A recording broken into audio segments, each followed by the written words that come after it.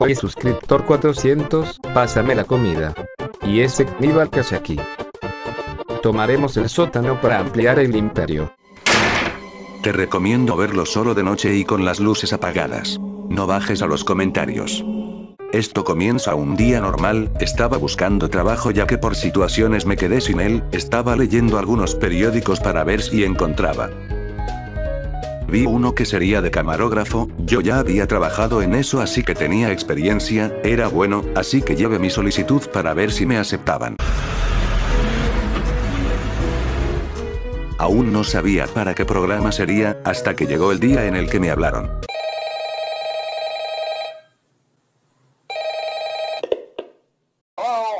Me comentaron que estaba contratado, era nada más y nada menos que para grabar los episodios del Chavo del 8. Me encantaba verlo, y ahora trabajaría con ellos, era como un sueño. El primer día fue bueno, conocí a todos los actores. Lo que más me daba risa es cuando le pegaban al chavo. Toma. Jaja, ah, qué divertido.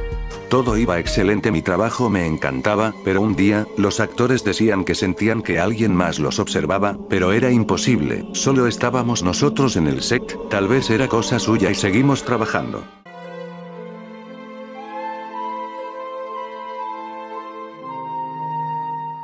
Desde ese día siempre era lo mismo, algunos quejándose incluso de que agarraban sus cosas, pero no podría ser posible, ya hasta algunos salían molestos se sentían acosados por alguien extraño. No sabía quién era o quién decían, como siempre solo me dedicaba a mi trabajo sin darle mucha importancia a lo demás. En algunas ocasiones, cuando veía las grabaciones de lo que estaba filmando, me percataba que algunas cosas no iban bien en el set.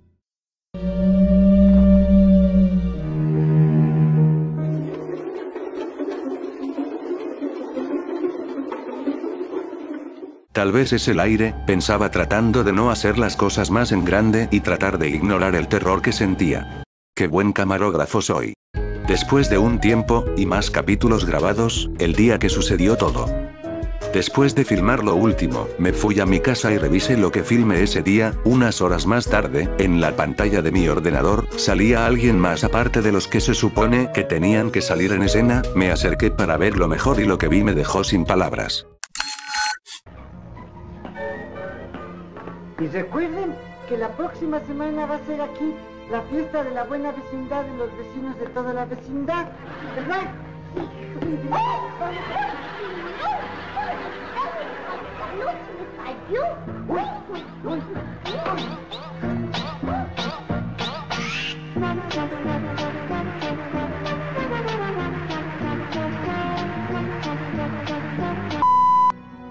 Yes.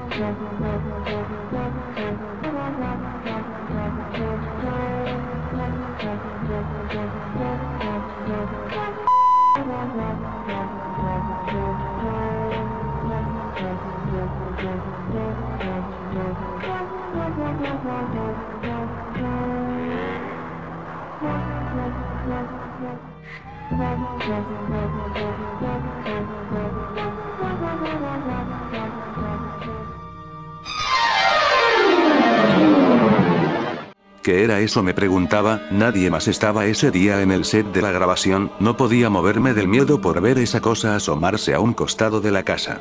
Rápido enseñé el metraje a los demás camarógrafos, nadie sabía quién era, ni siquiera los actores. Al día siguiente asistí a trabajar, ya asustado por lo que había visto, nunca se resolvió el asunto y seguía la presencia cada vez más cerca.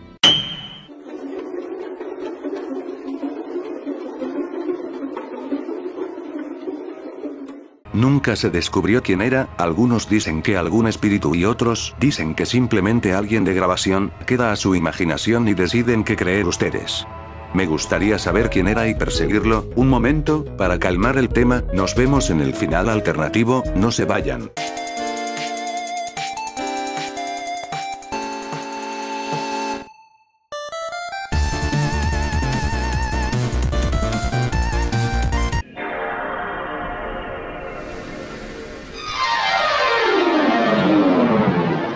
¿Qué era eso? me preguntaba, nadie más estaba ese día en el set de la grabación, no podía moverme del miedo por ver esa cosa asomarse.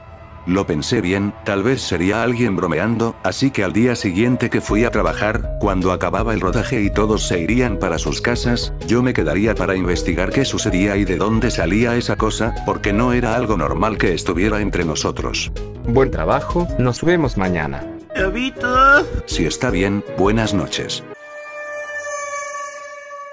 Me daba algo de miedo, pero si era alguien que estaba durmiendo aquí iba a sacarlo a patadas. Estaba buscando por todos lados, en el segundo patio no veía nada, todo estaba apagado como se supone que tendría que ver algo, pero después...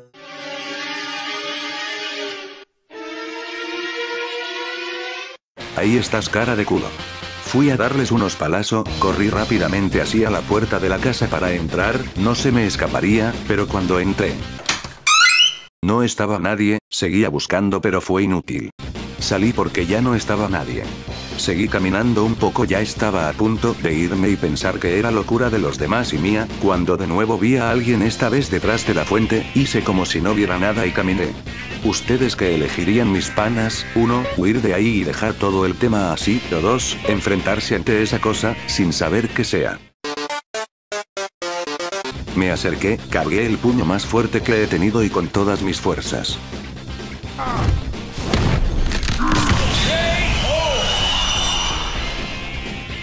Ay no, ¿qué es esa cosa tan fea? Al verlo bien ya que por la luz no se me permitía, me di cuenta que era un vagabundo. Pasó de ser algo aterrador a esa cosa mugrosa. Ora porque me pegas chamaco miado, te voy a reventar las piernas. Acércate viejo zángano, no debe de estar aquí. Todo lo aterrador había sido por un vagabundo y ahora quería pelear, hacía movimientos para impresionar. Sáquese. Tranquilo maestro ya no me pegues saldré de aquí. Váyase. Pero puedo quedarme a dormir aquí otros días. Voy a llamar a la policía asquerosa. Ahora sí dejaría de molestar esa cosa, ya cansado me fui a mi casa para seleccionar los filmes que había hecho, estaba feliz de haber solucionado esto, y saber que no era un fantasma lo que estaba acosando a todo el set. Ya me voy a descansar, estoy cansado. Dejó un chipote ese loco.